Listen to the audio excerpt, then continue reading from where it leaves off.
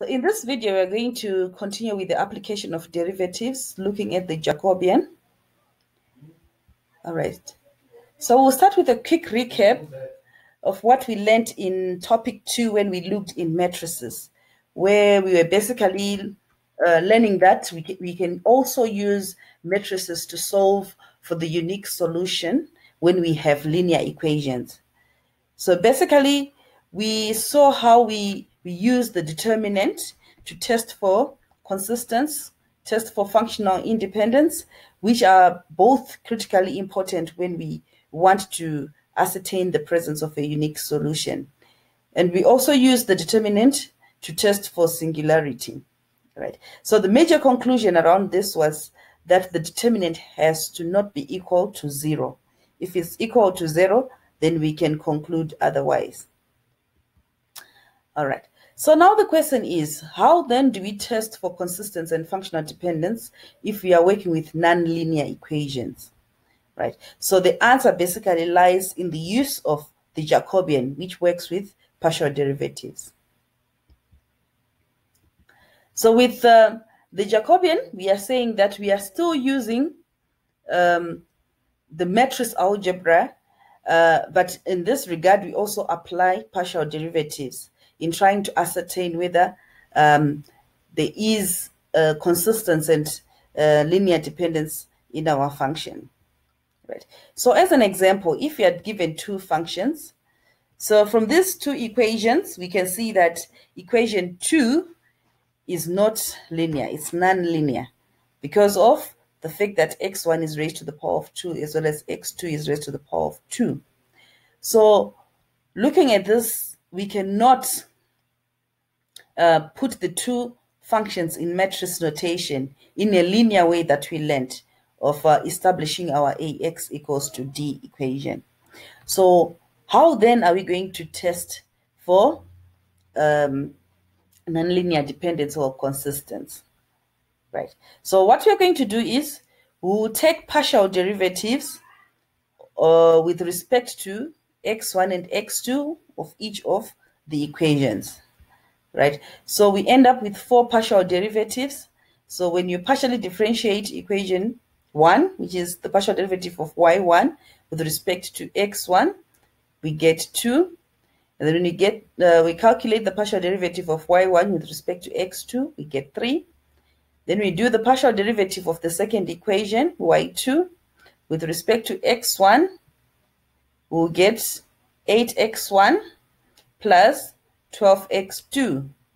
And then when we take the partial derivative of y2 with respect to x2, we get 12x1 plus 18x2.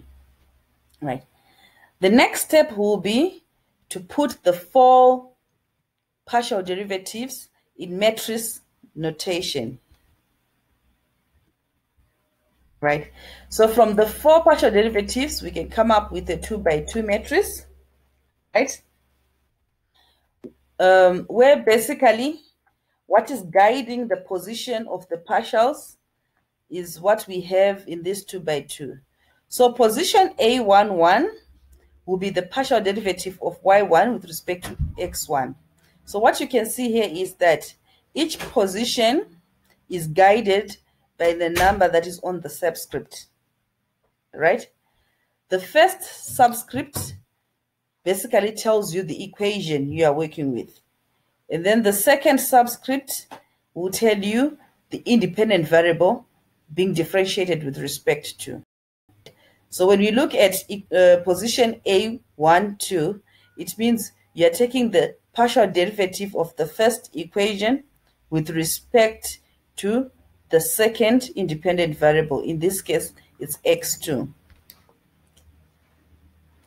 When you look at position A21, you are taking the partial derivative of the second equation with respect to the first independent variable, which in this case is x1. So same applies with position A22 is the partial derivative of the second equation y2 with respect to the second independent variable, which is x2. So you can arrange the four partial derivative in the 2 by 2 equation. The next step now will be to calculate the determinant of the Jacobian, right? So to calculate the determinant, we multiply the diagonal elements and subtract the product of the off diagonal elements, right? So in this case, when you multiply 2 by 12x1 plus 18x2, we get 24x1 plus 36x2. Then you subtract the product of the off diagonal elements, which is 3 times 8x1 plus 12x2. You get 24x1 plus 36x2, right? You open the brackets and simplify. And for this example, you can see that the answer will be that the determinant of the Jacobian is equal to 0. Right. So we are going to conclude that in this instance, the systems of the equations, they do not have a unique solution because our two equations are dependent on each other. They are dependent, right? Alternatively, you can closely look at the two equation and you can see that equation 2 is basically y1 multiplied by, sorry, y1 squared. So generally, when you are working with linear functions, no, man, no matter the number of equations that you have, as well as no matter the number of exponential variables that you have, right, from x1 up to xn, what you need to do is to take the partials of each of the equations with respect to each of the independent variables. Then you put them in a matrix. When you solve the determinant of that matrix, you should be able to conclude whether a unique solution exists or not. Right. In the linear case, what we simply did is we were able to arrange our system of equations in an ax equals to d format. And from there, we generated our matrix A, right? And when we calculate the determinant of the matrix A, we can also be able to conclude on the existence of a unique solution or not, depending on the value of the determinant. If it's not equal to zero, then we know a unique solution exists. Right.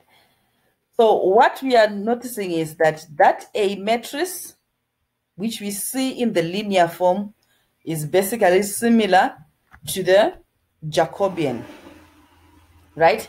where each position, your A11, will be the partial derivative, as I had earlier on explained, right?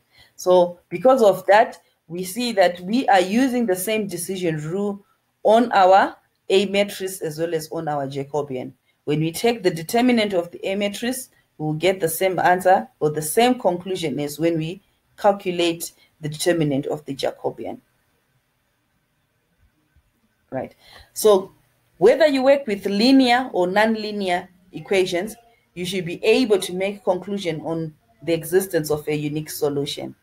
All right, so using these two examples, I'm going to give you a chance to try them out, and then we can discuss them in our tutorial or on Moodle when we have our chats.